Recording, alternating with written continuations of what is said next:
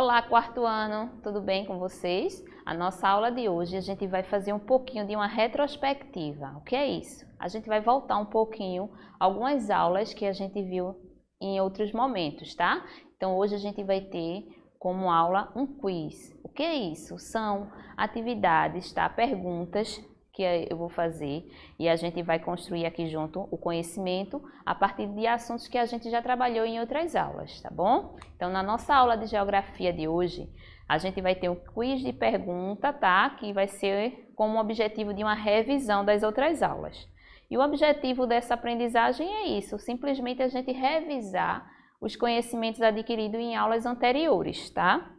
Então, vamos lá. Agora chegou a hora da gente testar essas habilidades que foram trabalhadas em outras aulas, tá bom? Então, vem comigo e preste atenção agora no nosso quiz. Então, vamos lá. A gente primeiro vai começar revisando o assunto que foi sobre Pernambuco e suas sub-regiões. Depois a gente vai partir para a região Nordeste, a região Norte, a região Sudeste, depois a região Sul e por fim a região Centro-Oeste, tá? Então aí a gente vai passar um pouquinho sobre por todas essas regiões, as cinco regiões que nós trabalhamos ao longo do mês, tá bom? Então vamos lá.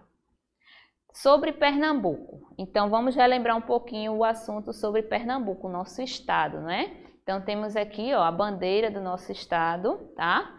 Então, Pernambuco tem como sua capital a cidade de Recife. É um estado da região Nordeste, tá?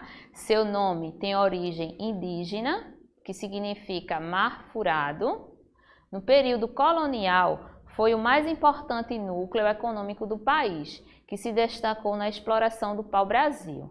E também foi a primeira parte do país onde a cultura canavieira, de cana-de-açúcar, se desenvolveu efetivamente. E o estado ele está subdividido em quatro sub-regiões. Essas sub-regiões são região metropolitana do Recife, tá? Essa parte aí do mapa em vermelho. Temos também a litoral mata, que é a parte verde. Temos aí o agreste, que compreende essa parte azul. E temos, por fim, o sertão, que é a maior parte do mapa, essa parte que está em destaque de amarelo. Essas são as quatro sub-regiões do estado de Pernambuco.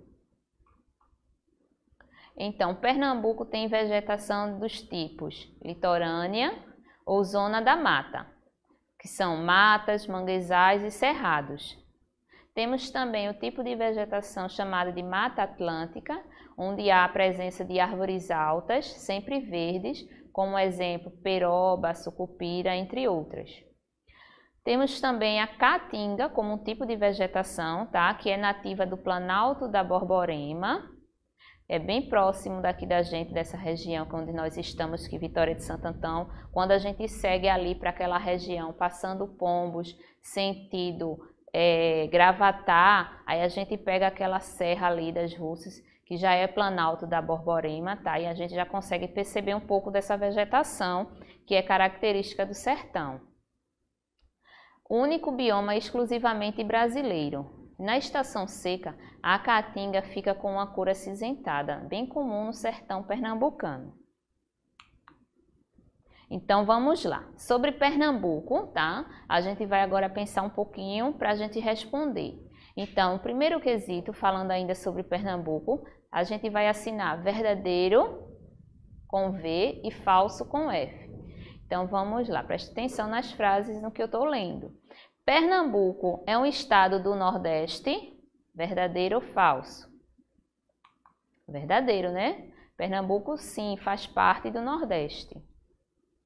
Segunda frase: Pernambuco está dividido em sub-regiões: região metropolitana, litoral mata, agreste sertão. Verdadeiro. Acabamos de ver isso, não foi? Essas subdivisões das regiões. Terceira frase. Sua capital é a cidade de Vitória de Santo Antão. Tá certo isso, gente? Eu dizer que a capital de Pernambuco é Vitória de Santo Antão?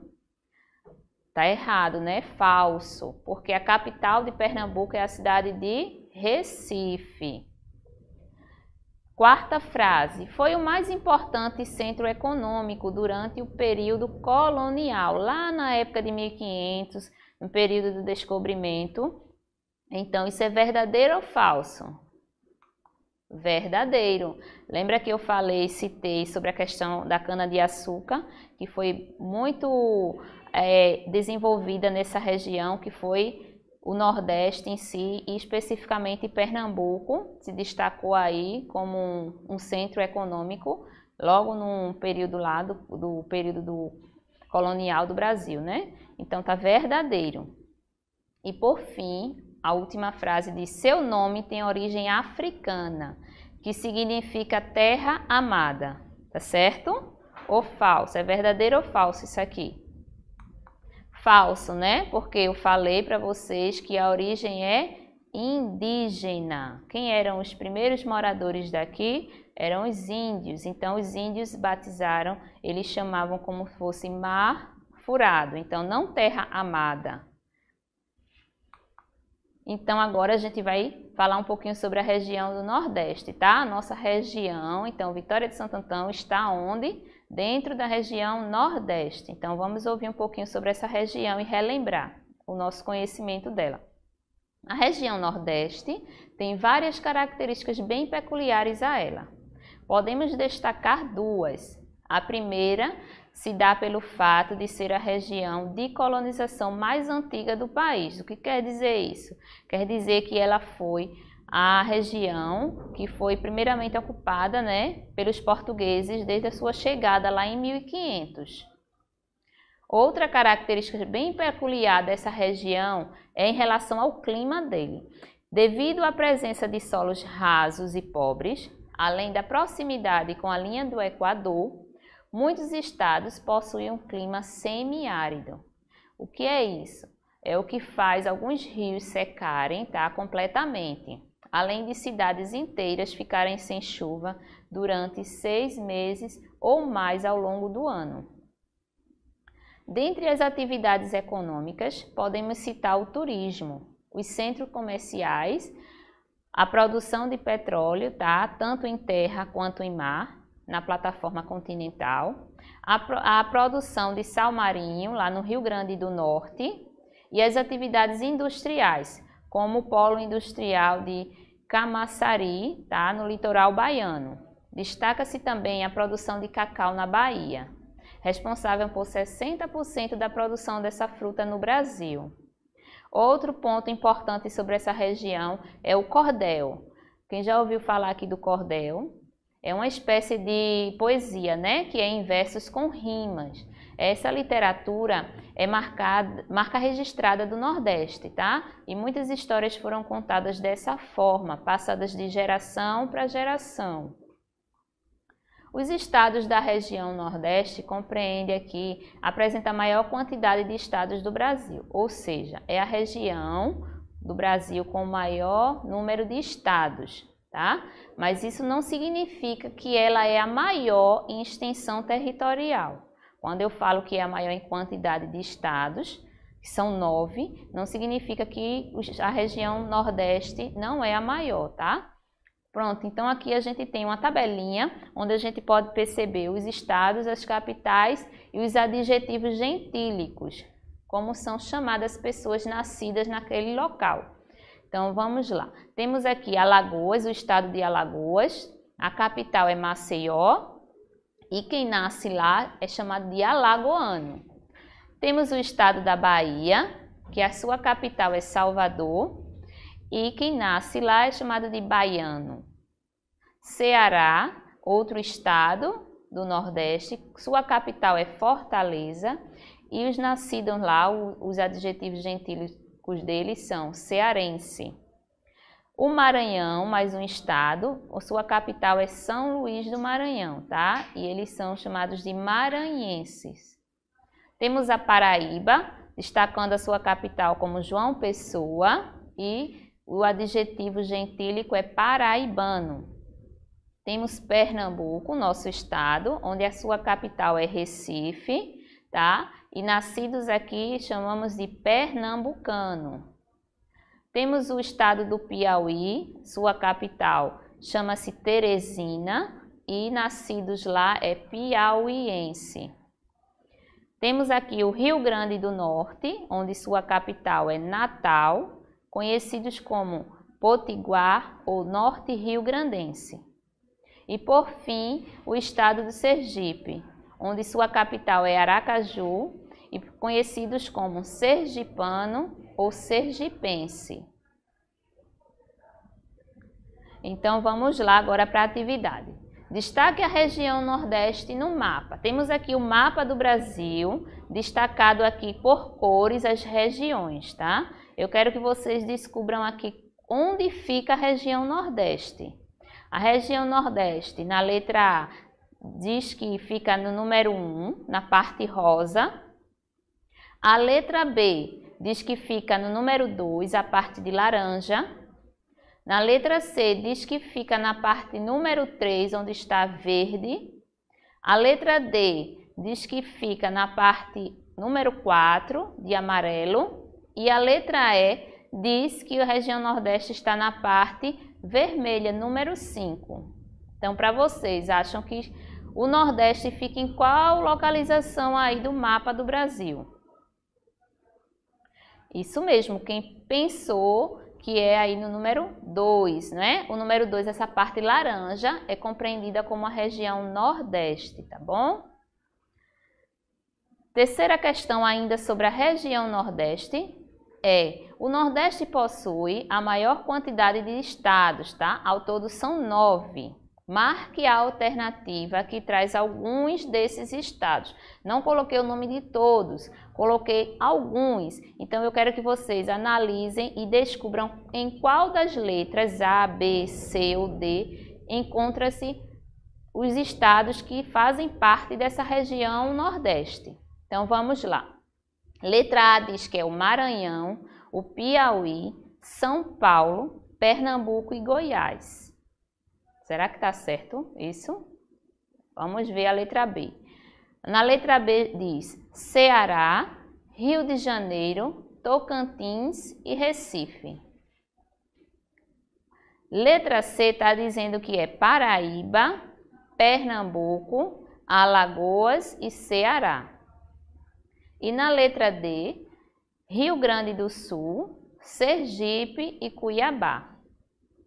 E a resposta está na letra C, isso mesmo. Eu coloquei nas outras, nas outras letras, eu coloquei alguns que fazem parte sim da região Nordeste, só que eu mudei, coloquei alguns estados que fazem parte do Sudeste, que fazem parte do Centro-Oeste, e saí mudando para ser uma pegadinha. Então, quem está com atenção, prestou bem atenção naquele, naquela tabelinha do, é, anterior que a gente viu aqui sobre os estados, viu que alguns deles seria Paraíba, Pernambuco, Alagoas e Ceará, na letra C. E agora a gente vai para a região norte. A região norte é a maior região do Brasil, tá? Com extensão territorial, ou seja, em território, em tamanho, ela é a maior região, que corresponde a aproximadamente 45% da área total do nosso país. Manaus, capital do Amazonas, é a cidade mais populosa da região. A outra cidade com mais de um milhão de habitantes é Belém, capital do Pará. O clima predominante na região é o tropical, com temperaturas elevadas e grande quantidade de chuvas. O relevo é marcado por planaltos, planícies e depressões. O ponto mais elevado do norte e também do Brasil é o Pico da Neblina. A rede hidrográfica de, do, da região é muito rica, pois é composta pela maior bacia hidrográfica do mundo, que seria o Rio Amazonas, e outros milhares de afluentes, como o Rio Tocantins. O ecossistema da região norte do Brasil é muito interessante, possuindo uma das maiores e mais importantes florestas do mundo, que seria a floresta amazônica, tá? que abrange cerca de 80% da sua área total. Na região norte ainda encontramos uma vegetação bastante heterogênea, como áreas de cerrado, campos e vegetação litorânea. é a segunda região menos populosa do país. Tá? A população é de, da região é formada por mestiços, né, que são descendentes de índios e portugueses. A economia regional tem no extrativismo uma importante fonte de captação de renda. Os produtos de origem vegetal são o látex, a madeira, a castanha, o açaí, entre outros. A mineração se baseia na extração de ouro, minério de ferro e de manganês. Então vamos lá. Quarta questão sobre a região norte. Assinale V para verdadeiro ou F para falso com relação à região norte. O Amazonas é um estado do norte do Brasil. Correto dizer isso? É correto afirmar isso? Verdadeiro ou falso? Verdadeiro. O Amazonas, sim, ele faz parte do, da região norte, não é isso? É um estado do norte. A região norte é a maior do Brasil, se tratando de extensão territorial. Está correto isso? Verdadeiro, né? Eu falei isso há pouco, dizendo que é a maior região do Brasil. Quando se fala de extensão territorial, é bom deixar isso bem claro. Não de população, e sim de terras, tá? Terceira frase: suas bacias hidrográficas são Rio Amazonas e Rio Capibaribe. Tá correto isso? Eu falei do Rio Capibaribe, tá falso, né? O Rio Capibaribe não faz parte dessa região. O Rio Capibaribe a gente encontra aqui, passando, cortando Recife e outras cidades, não é? A outra frase diz: a população é mestiça, formada por descendentes de índios e portugueses. Correto? Sim, com certeza está correto. A culinária é composta por uma diversidade de frutas, se destacando o açaí. Também verdadeiro, né? O açaí é uma fruta que é lá do norte. Então agora a gente vai para Vamos viajar agora, partindo, saindo do norte, a gente vai para a região sudeste, onde diz que é uma região que engloba quatro estados vizinhos, de Rio de Janeiro, São Paulo, Minas Gerais e Espírito Santo. O estado costeiro do Rio de Janeiro é conhecido pela sua capital, que é a cidade do Rio de Janeiro, onde os pontos de referência incluem o Pão de Açúcar, e a estátua do Cristo Redentor.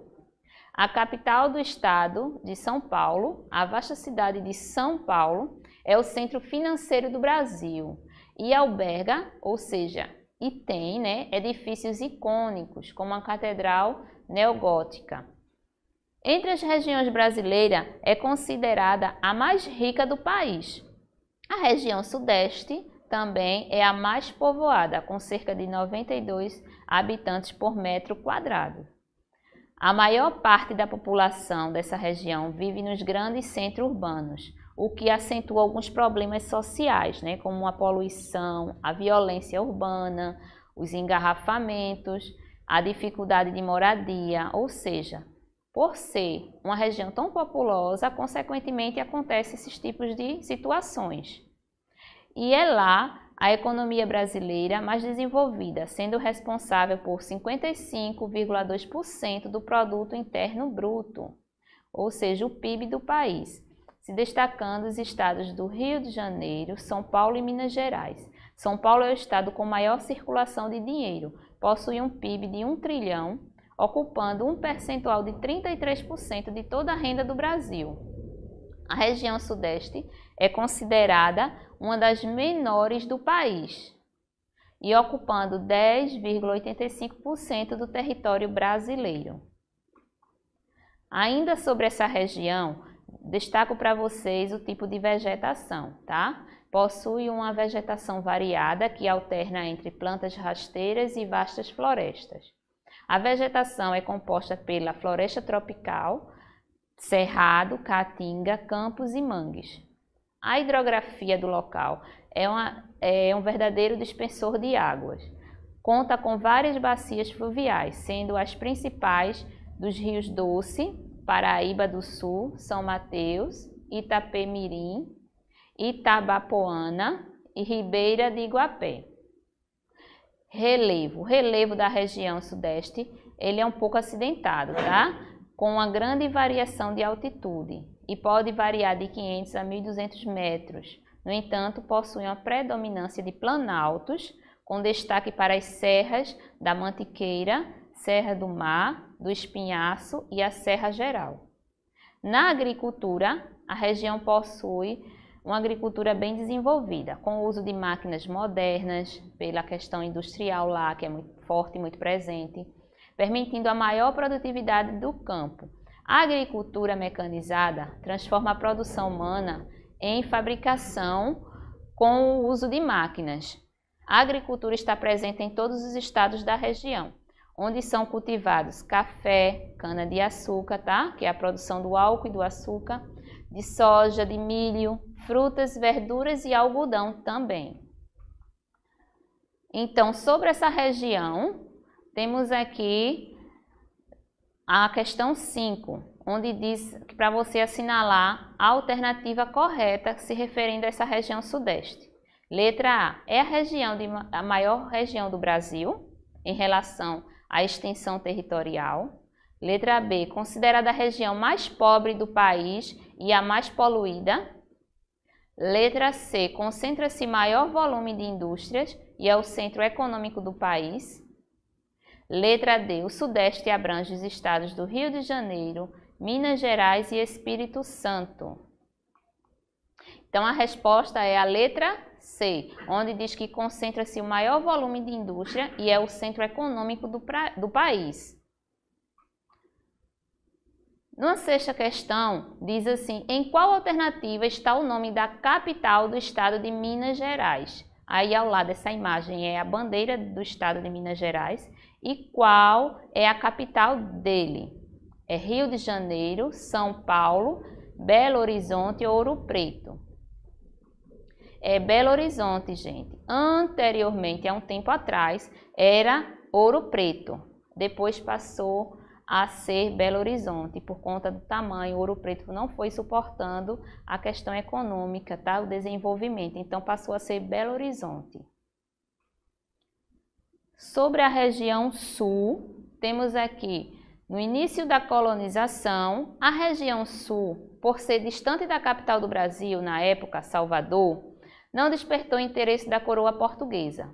Depois, no século XVI, a ocupação iniciou-se no atual país Santa Catarina, destacando-se a Vila de São Francisco do Sul, no final do século. Em 1693, a capital paraense, paranaense, Curitiba, foi fundada. Os alemães foram os pioneiros na década de 1820, colonizando as áreas dos três estados sulistas. Os italianos chegaram depois e focaram sua moradia no Rio Grande do Sul, na região serrana e em cidades como Caxias do Sul e Bento Gonçalves. No fim do século XIX, outras nacionalidades de europeus desembarcaram no sul do Brasil dando início a uma intensa miscigenação europeia em solo brasileiro e transformando a região em um grande mosaico cultural de hábitos e costumes e alimentação da Europa. O relevo da região sul diminui de altitude no sentido leste-oeste. Com isso, alguns rios que nascem perto do oceano correm em direção ao interior, desaguando em outros rios.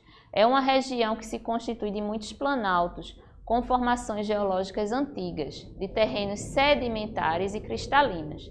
A região sul contém quatro regiões hidrográficas brasileiras: Atlântico Sul, Sudeste, Paraná e Uruguai.